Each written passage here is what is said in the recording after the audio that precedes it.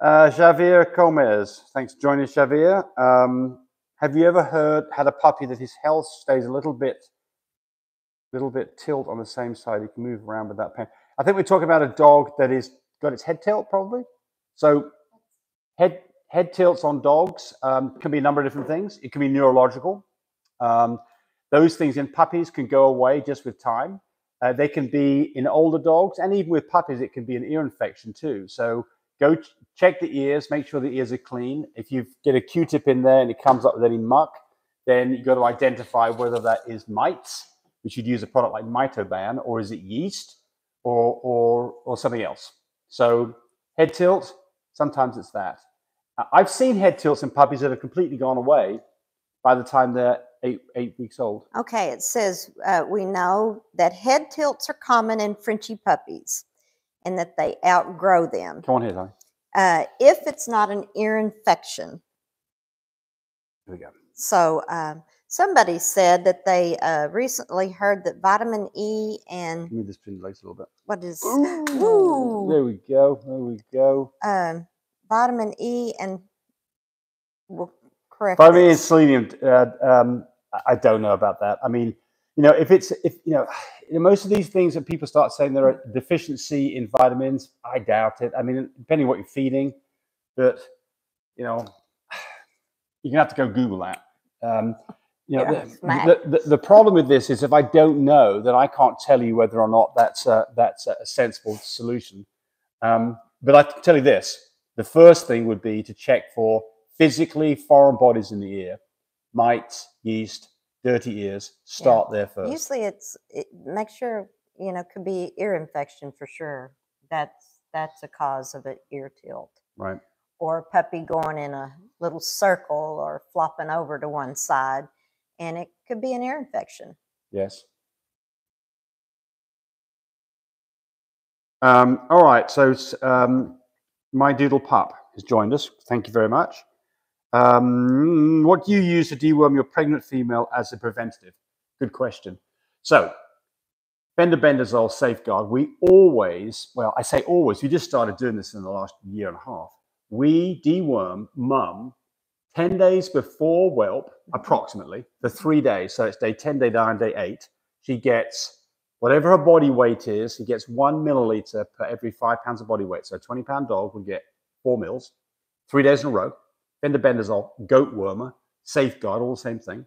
Panacur, all the same thing.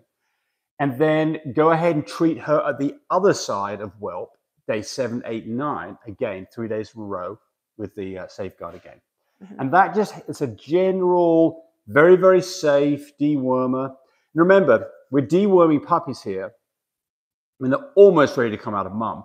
There's a difference between deworming when a dog has got worms when it's just been, you know, four days into a pregnancy, because you're talking about all kinds of things going on in mum that can really can be affected by um, outside influences. Not so much when puppies are about to be born. So, you know, I had somebody the other day who sent me a picture. and It looked like their dog got flatworms at day 50. And so I said, that's actually the day. And I said, well, what I would do is first off, make sure if you've got worms present, make sure that you know what kind of worm it is so you can treat it with the right stuff. I'll give you an example of this. Just yesterday, Mhm. you showed me some poop, Oh, right? you showed me some poop. it was. And I mean, it it looked looked like a humongous. tapeworm or something. I mean, it was it was like this long and, and, and And- structure to it. Yeah, And I looked and I said, "Good lord, let's take a look at that." So I took a look at it, and then after kind of moving around, I got a fork kind of moving around. hot. What it was was a little bit of her pee pad. The plastic from that she chewed up, ripped off a sheet, a strip of it, and swallowed it, and it came out the poop. So, if you've got something that looks like a worm, I would do this. First off, go get yourself a little tea strainer, put the worms in that tea strainer, wash some water on it, so you can get all the feces off it, so you can see exactly what you're looking at. Because if it's colored like red or blue or black, it's probably not a worm. It's probably just foreign material. Mhm. And then if you've got a magnifying glass, take a look at it under magnifying glass and look and see what you've got. And then you can taste it. No, don't do that. can, don't do that. But the point here is it's very easy to think you've got something, you're going to treat it. And in fact, that's not the situation because we don't want to overtreat dogs, especially pregnant ones. Now, look, what do you do if your dog's got tapeworm and it's Mhm. only 20 days into the pregnancy? Mhm. Probably going to use, um, I forget what you use for tapeworm, um, Droncit. Droncit, I think, is the, is the preferred drug. But I don't know that Droncit should be used on a pregnant dog. But you've got the problem no, you've got here. probably not Well, because it's due to fleas. says and low. it's, Um, yeah, I don't know the answer to this, but but but you know, if you've got a dog that's really getting in trouble because of whatever health situation, it's time to go to a vet and Google it to find out whether or not the treatment that you're thinking about doing is okay for a safe dog. do you want to get a cord for your phone? No, I can't. Okay. This this phone here is the one that's going to run out of battery. Hmm. Um, all right, E Fizzle, my dog's first heat was at 10 months old. Will her second heat take that long, or can I give her something to make it come in sooner? So we've had these questions before, but I'm going to answer it quickly here. So, so going Yeah, I tell James, I said every week it seems like yeah, I mean, I, answer same well, I'm going to ask a question about that. Yeah. So, so the answer is is because it took 10 months. No, most dogs come in every six months, and dogs don't start their first heat typically until they're 10 months to a year and a half old. So just because it took a year and a half to come in the first time does not mean it's going to take a year and a half the next time. It's probably going to be six months. And do not start mucking around with anything to give a dog when it's that young to bring it in. That would be a huge mistake. Would not do that at all. Not at all. So here's a question for everybody. You know, those of you who are coming in here, and we've got um, 34 people now watching this, and we appreciate that, and we'd really like it if you hit the like button. But the question here is, should we, we can going to continue these on a Sunday at eight o'clock. Should we make these more specific about the questions we're going to answer? I.e., should we have one that's on nutrition? Should we have one that's just on health? Should we have one that's just to do with selling puppies? Should we have one that's just to do raising puppies? Or so- breedings, or breedings or matings or the pregnancy. So the Mhm. point here is, is to narrow this down. bathing puppies. Yes, to narrow it down. So, so what I'm asking is, why don't you give us uh, topics that you think would make sense as a general topic you'd be interested in, and then Tami and I will have a bash at that. And if you give us it beforehand, if we don't quite up to speed on it, well, we can do our homework, Mhm. right? Mhm. Tami can do her homework anyway. Yeah, Um, James needs to be doing his. So YouTube account, we're talking about this puppy that's got the head tilt and asking about Surolan to treat ear infection on an eight-week-old puppy. Well, we're back to this. What is the problem? What is the cause of the pro- If this is an ear infection, there's like lots of different things. It could be bacterial ear infection, it could be ear mites, it could be yeast. You need to find out what it is first, if you possibly can, before mm, you start giving yeah, a specific drug. Need to, yeah, Right. have the vet Yeah. check it. And I don't know what Surolan is, but even if I did, I'd say uh, the first thing I'd ask is what you're you trying to treat?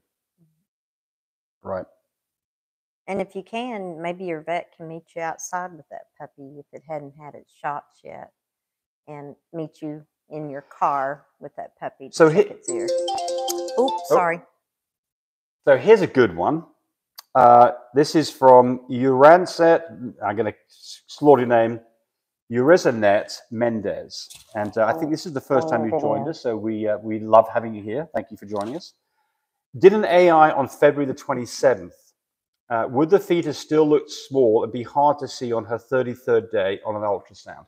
So that's a great question. Of course, the size of the fetus does depend a little bit on the breed. If it's a Chihuahua, it's obviously going to be smaller than it would be if it's a Great Dane or a Great Pyrenees. But basically, by the time you are at 33 days in, you should be able to see it on ultrasound. It's going to be bigger than a walnut at that point. You should be able to palpitate it if you know what you're looking for. You should be able to squish along the, the puppy's, the, the, the mama's belly and feel it. You should be able to see it on ultrasound and you should be able to relaxin pregnancy test and it should show up on that. X-ray is no good because the bones are not calcified yet and it won't show up on an X-ray. So an X-ray is no good at this point. X-ray is good at about 50 days or later. Uh, they say ultrasounds at like 22 days, but my experience with ultrasounds has not been very good. Uh, we don't get ultrasounds, uh, and the reason is is there's too many false positives, false negatives. They they see poop in there and they say it's a puppy, uh, or or they say that it's a puppy and it's poop. So now the relax the relaxin the thing the great thing about an ultrasound is when you do an ultrasound, it does tell you how many puppies hopefully are present. The problem is, I see so many times when people report back they've got four puppies and the dog's not even pregnant. The relaxin pregnancy test, I don't do those until you're at day 30 or later, and they, for us, have been very, very reliable. I've never seen a false positive. I have seen false negatives because they were done too early. Even the faintest line on the relaxin pregnancy test, by the way, is you have to pull blood, you have to spin it down, you put a couple of drops onto a cassette, you wait five minutes, and it gives you one line to say the test is good and two lines if the dog is pregnant. Cody sells those at My Breeder Supply. They're not very expensive. I think it's like 72 bucks for five tests, so $12 a test, $13 a test. Swear by them. So you don't have to take your dog to the vet. You can do it all yourself. So I, I like that as a solution. And you now the other part about this is what are you trying to get done here? I mean, do you need to know how many puppies are present? Maybe because you've got people waiting for puppies, you'd like to give a result to that. Um, for us, just being excited, period. Sure, yeah, absolutely. Well, so for us, I mean, we're pretty good at guessing the number of puppies in a dog. So a dog that's pregnant and is, you know, a few days away from whelp, we can normally get it right to within a puppy. You know, I say, oh, there's five puppies in there and there's six, and five puppies, and I got it right. You looking at me like that's not true? No, I'm I'm having problems okay, here. are you? Okay. Mhm. Um,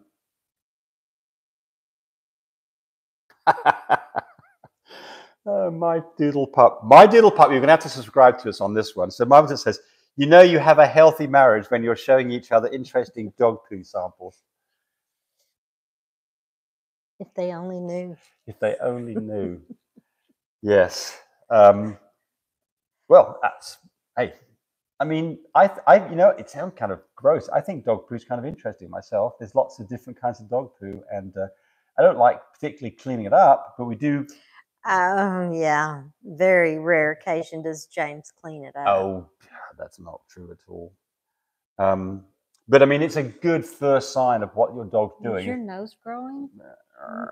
It's, a, it's a good way of giving an idea. I mean, if you've got a dog that's a happy dog that wants to go play around, has got clear eyes and pink gums, and its poop poop would, would uh, you know, you can pick it up without it getting all smushy. You got a dog that's probably in good shape.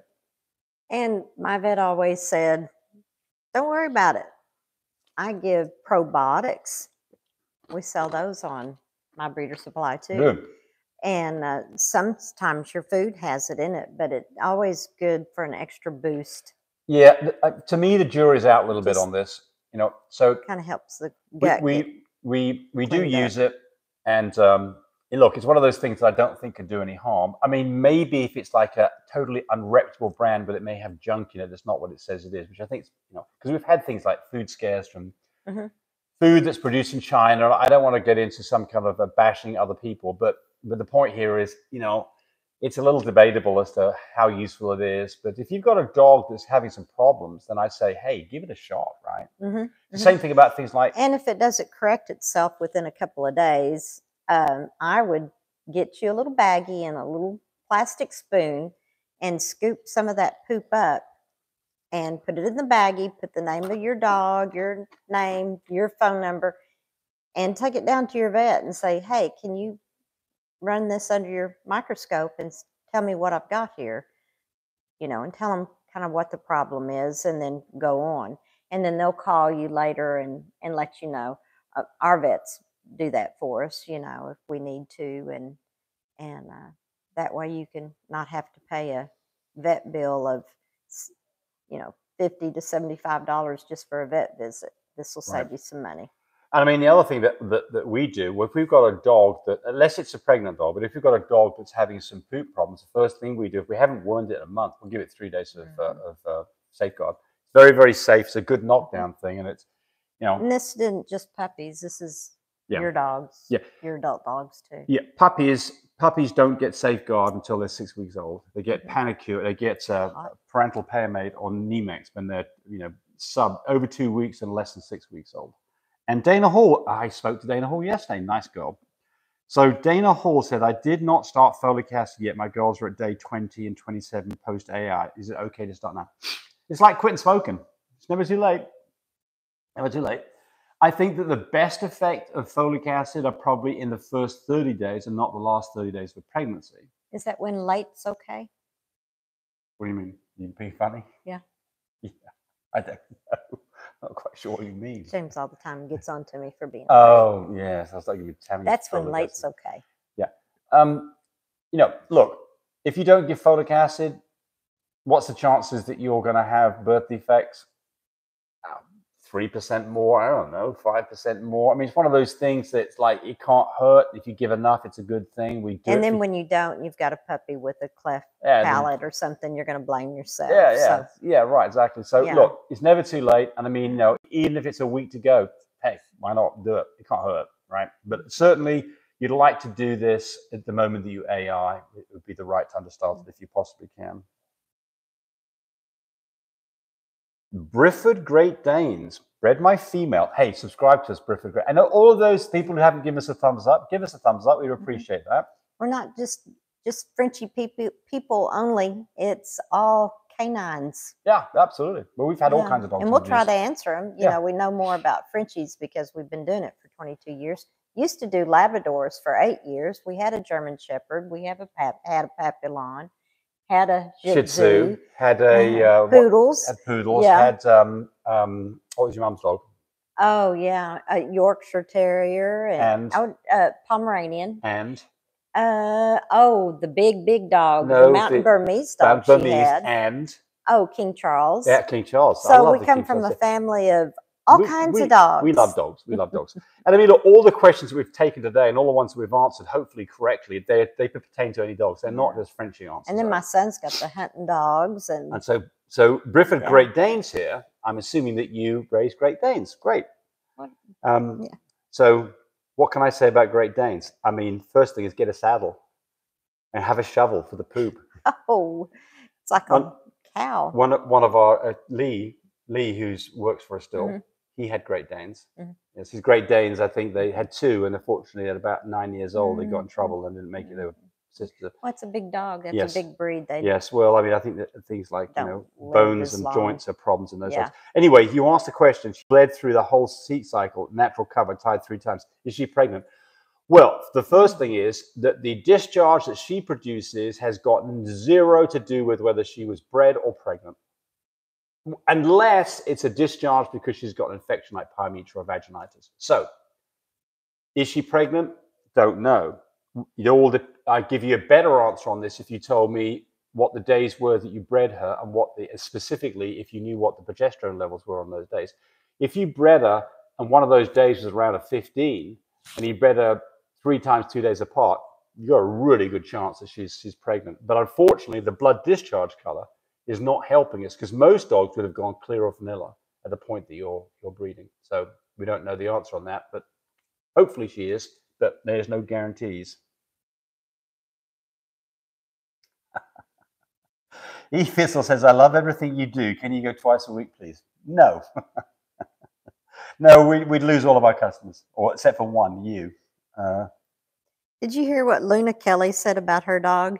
No. It says, "LOL, one of my dogs spin around while she's while she poops like a salad shooter. ah, not as easy to pick up. She's special.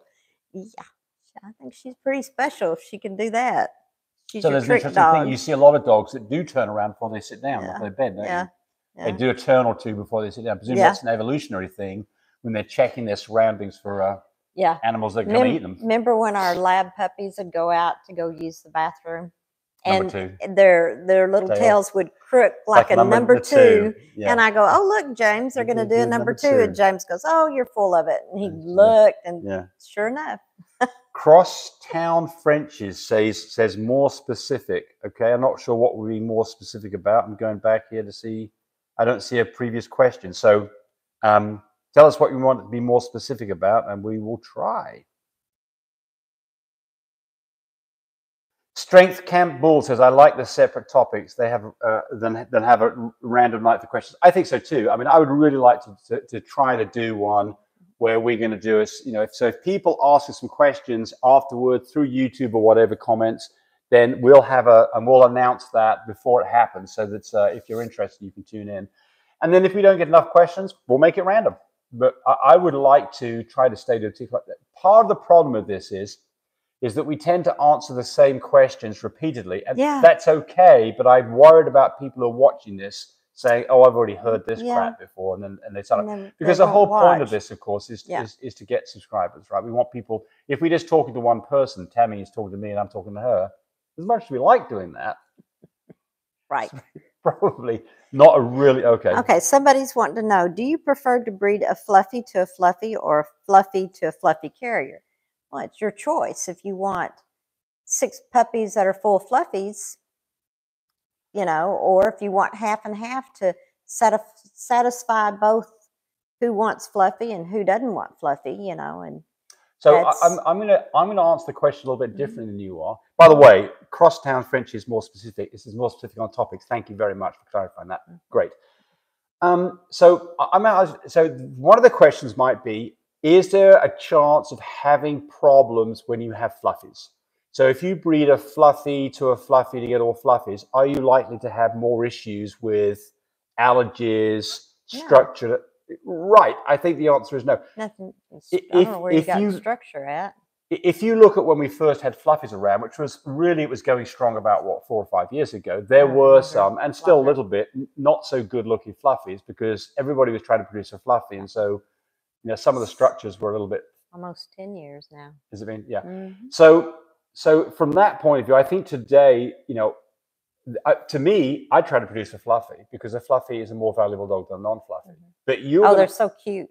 I like them. I love them. But the thing, if you've got the um, no um, no shed gene, fluffy carriers are fantastic. Their their uh, their coats thicker, and they don't shed like your standard French bulldogs.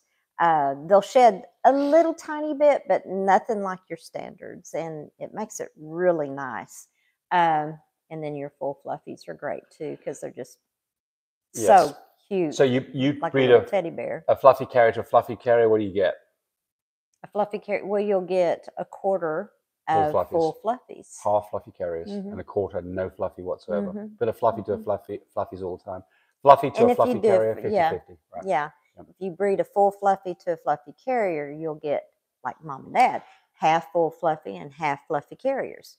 Which is a great combination too. I Yeah. uh, and I mean, I got people. Well, that's where I'm saying you'll satisfy both worlds. yeah. Well, who I've got, wants fluffy and who doesn't. I've got people. and if people say, I don't want any kind of fluffy, and like, okay, well, this doesn't show it on the outside, just has it on the inside. And if you don't breed to a yeah. fluffy carrier, you're just going to get little fluffy carriers again, and you don't have to worry about the. And hair. you, you look, But that's an eye appeal thing, and you can't you can't make yeah. a litter that makes everybody happy. It's just not Right. happening. Right. It's just not happening. And, and, so you know, you've got to decide what your target audience is. Who are the can't people? that- satisfy everybody. So, right. but I mean, you know, it's it's If you've got a fluffy and you've never had a fluffy litter before, I'd breed back to a fluffy and at least get some fluffies out of it. yeah, Hey. you'll love it when you do it. My phone may die on us, so we may not make the full hour here. If it does, I'll try and get back on again, but I don't know if it'll let me get back on alive. So I apologize if that Mhm. happens, but it, there's a possibility in the next 15 minutes this thing could go down. And it's because I Well, it, oh, it won't go. No, if I Okay. if I plug it in, Yeah. it trouble is Okay, so hurry and answer yeah, okay. questions. Um, so Olivia Robinson says, I love listening to you guys. Well, thank you, Olivia. We appreciate that. Um, Somebody want to know if a big rope is a real Frenchie. Can you register them? Do you have some? okay, good question. So you yeah, want you can register them, you want ta- you want to tackle that? and they are Frenchie. They are Frenchie. After so many times of being bred and bred and bred, they definitely are a full, you know, are a Frenchie. So Um, yes, we have one. He A is a full fluffy big rope stud. yes, and what's his name? His Tank? name is Tank. Tank. Right, he's pretty thing. Um, Mhm. he's just now and getting he's a Rolls Royce son. just now. I mean, he's- he's just about on the cusp of of, of, of producing. And we always thought, oh, not big rope.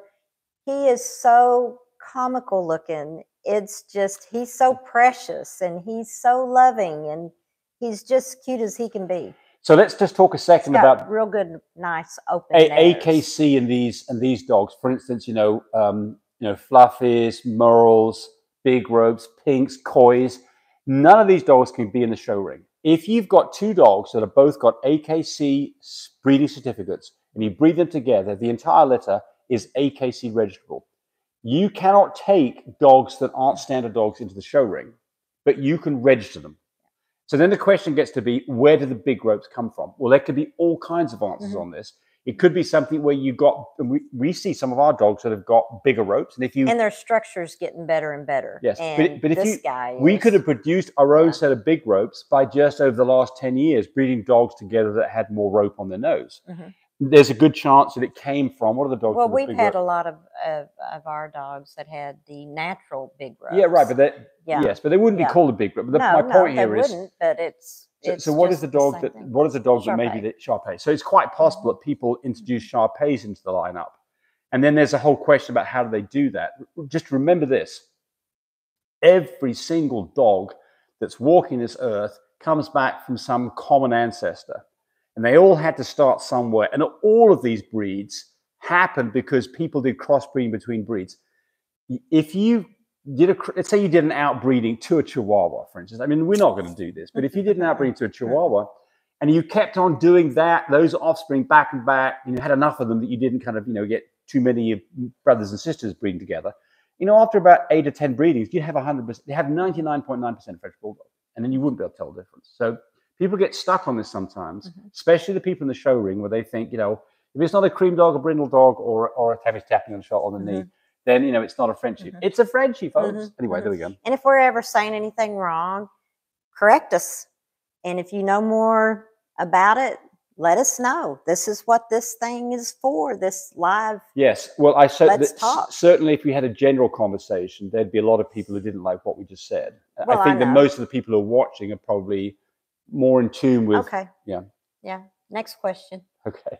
A- And, well, I'm going to say one last thing about the course, there's the whole group, PETA, Professional Ethical Treatment of Animals. We believe that we are the professional ethical treatment of animals, but we have nothing to do with PETA. And those people are, in my opinion, nut jobs. So there you go. Okay. Okay. Said, uh, do you prefer AI to or a TCI?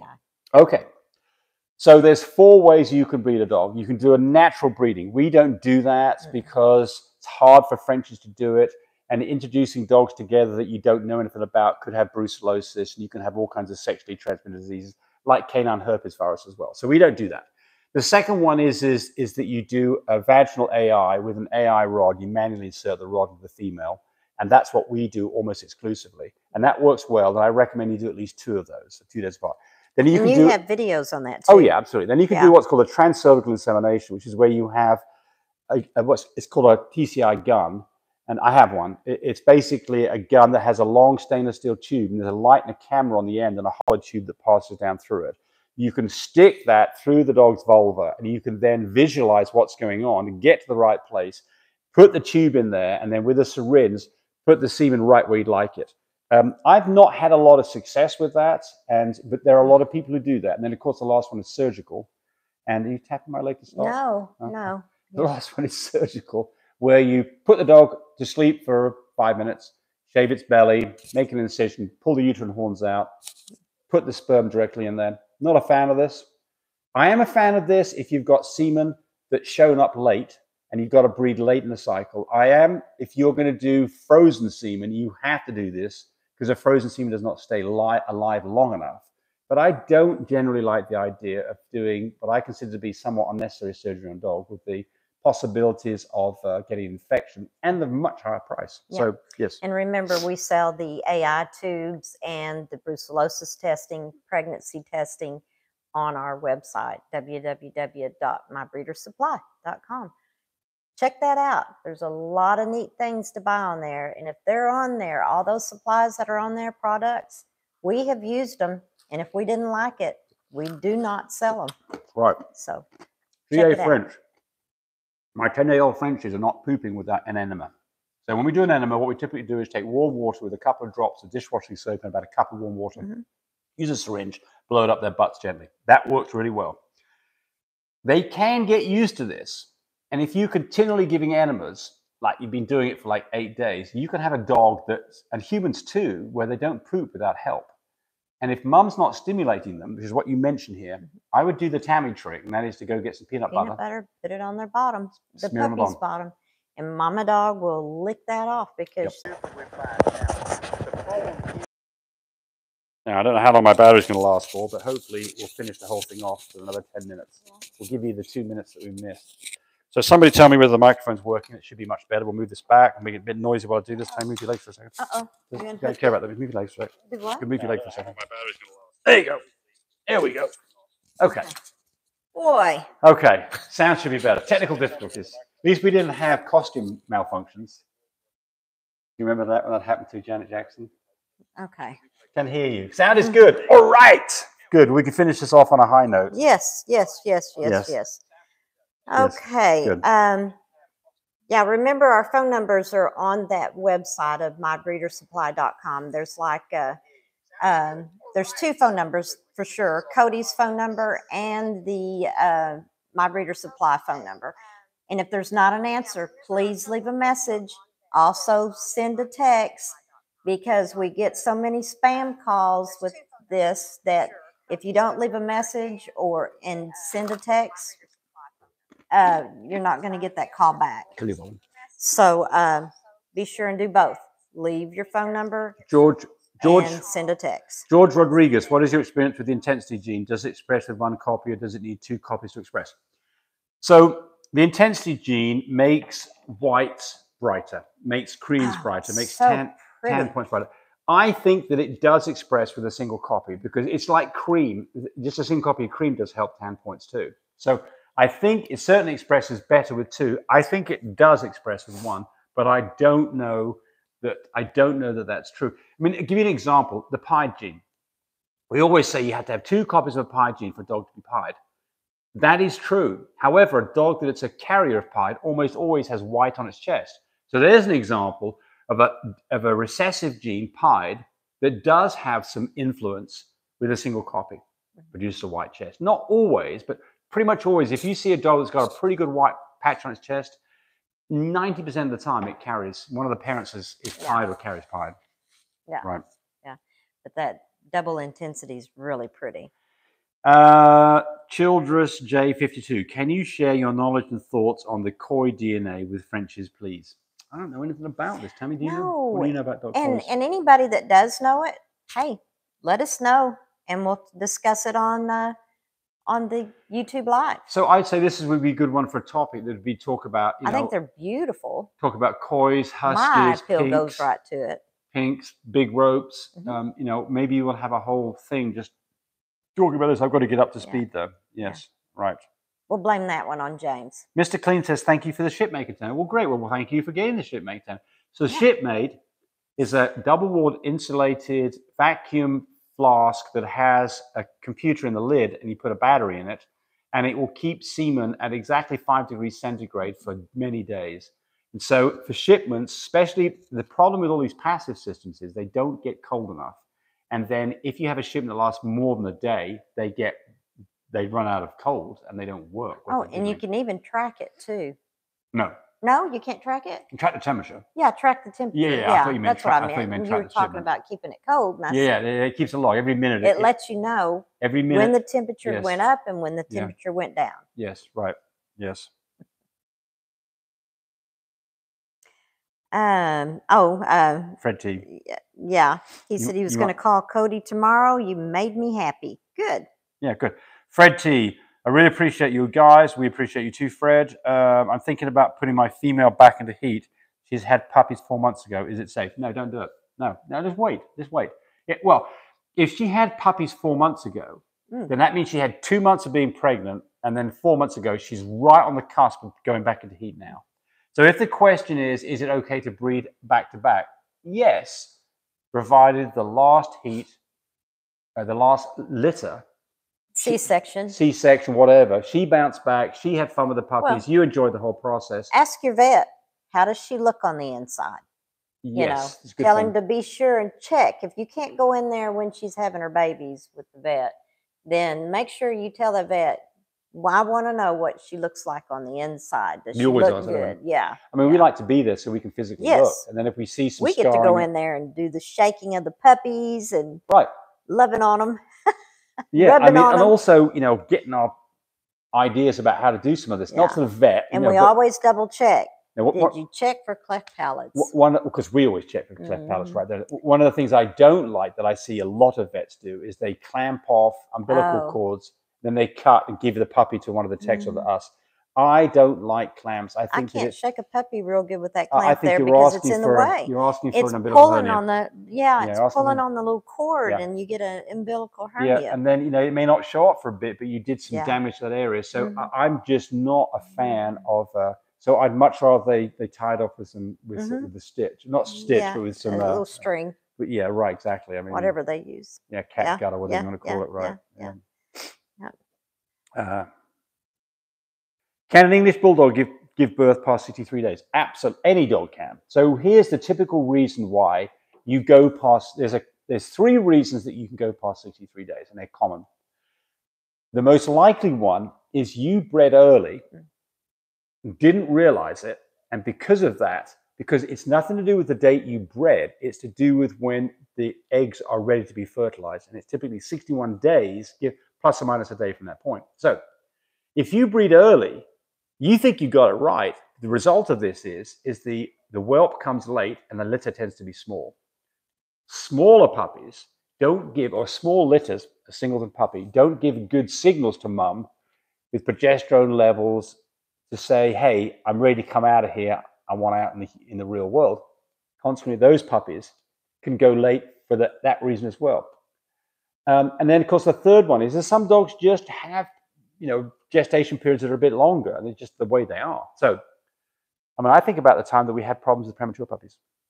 Mhm. We were day 67. Mm. And I didn't have a progesterone machine back then. And I was just like, crap, oh, I'm getting really worried about these puppies. There was three puppies in there. It wasn't a really small litter, but it wasn't a big litter. And it was 67 days past that. And, uh, you know, I went to the vet and I said, you know, I just, I hate waiting any longer on this. Her temperature's got close to 99.0. Went to the vet and the vet said, well, she doesn't have any milk yet. You know, you're taking a risk here. And I'm like, well, lots of dogs don't have milk they have, before they have a C-section. Let's go ahead and do it. We did it. Premature. And we lost, I think we lost one of those three. And it was a battle for the other two. And we, they survived it. My mistake. And that was day 67. So it should have been like day 69 in that dog. And what happened?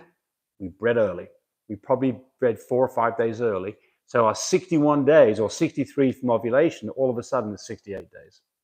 There you go. So absolutely, um, you know, I'm a firm believer that you need to look at all the signs. Temperatures drop below 99.0. Dog's not eating any food. Um, doing some nesting and panting.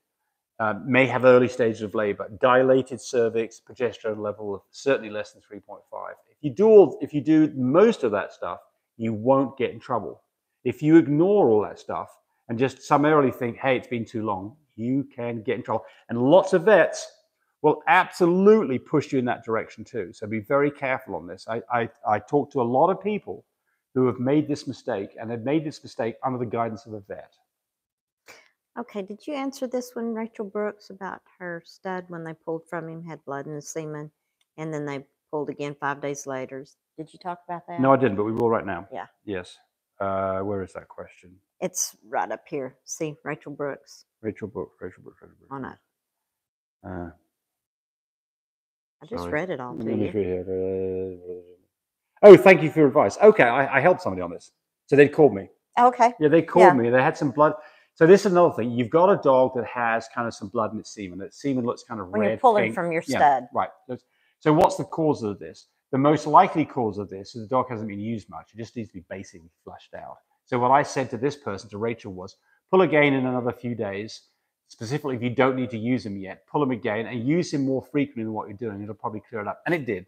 So there could be other problems. I mean, you could have some kind of bacterial infection, but I've never seen, I've seen blood and semen. I had one dog solo who tended to have pink semen. He got dogs bred without any trouble at all, never had a problem with it. The semen looked quite unremarkable under a microscope, completely normal, and uh, he just put a bit of blood in it. And it just took one drop to make it look pretty pink. So I wouldn't get too worried about this. Now, you've got a dog that's the semen's completely clear and you don't see any swimmers, and that's a different story. That's that's you know. So so the thing here is, if you you should have a microscope. If you're in the stud business, I think if you're going to be breeding dogs to any degree, it makes sense to have a microscope. And I would go buy a uh, oh, what's the brand that we were Celestron with a digital screen that's going to cost you four hundred dollars up to eight hundred bucks. 400x magnification is plenty. A color one's what you want. You need to get that. Then you can look at semen. And if the semen's all swimming around, probably fine. Someone's asking if Phoebe and Mando litter. Uh, yes, I do have one boy left, full fluffy, lilac and tan, uh, ATAT. Um, I think he carries a copy of Pied and no brindle. So there's one boy left, and uh, it's Shelly who you would call. So give me a call at 580 799 1910.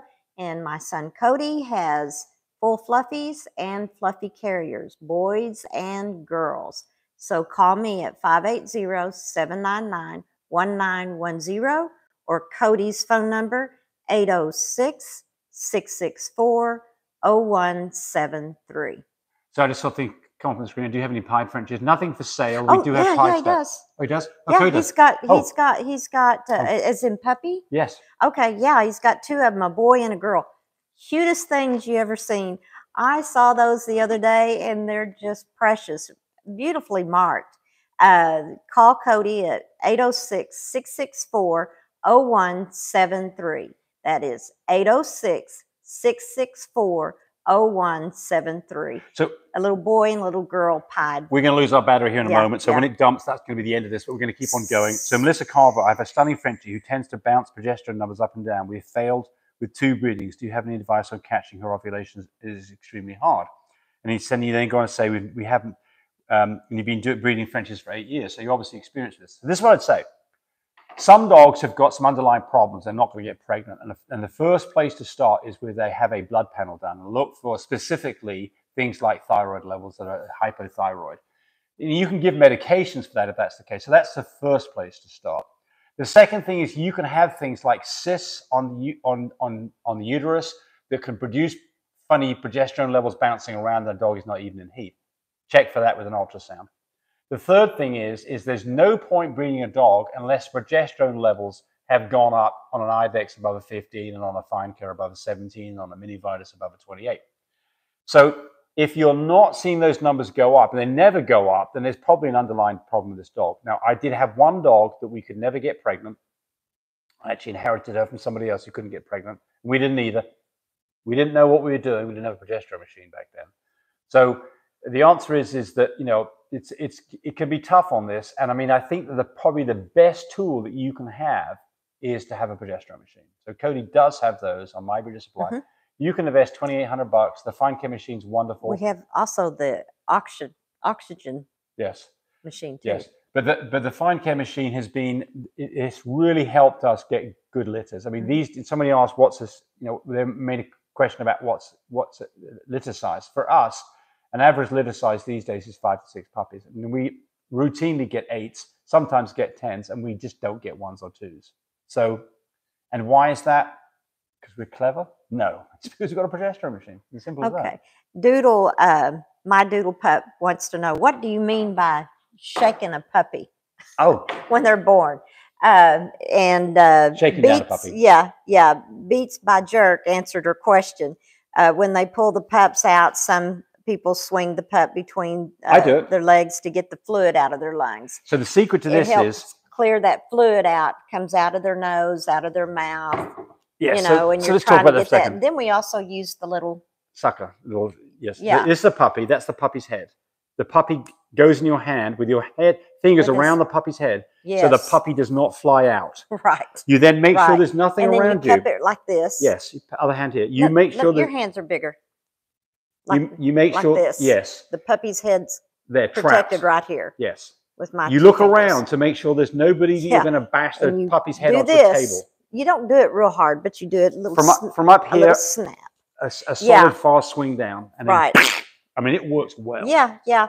And then from our puppy care kit, if you order that, uh, we've got the little uh, syringe thing. What is that? The little uh, Suction tube. Suction bowl. Yeah, yeah. Yeah. Suction bowl. And we suck that out of their nose Absolutely. Too. That's what sh- and then mouth I meant by shaking a puppy. I don't Yeah. mean like shaking it for loo- back make its brain loose. Yeah, yeah, Can't believe this hour's Um, yeah, yeah.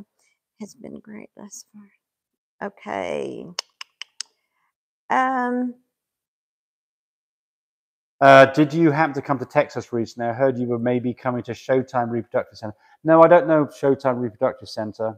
Uh, they were they were that's where you take off heels. I don't know about them, but are they good? Because other people need to know about good good vets.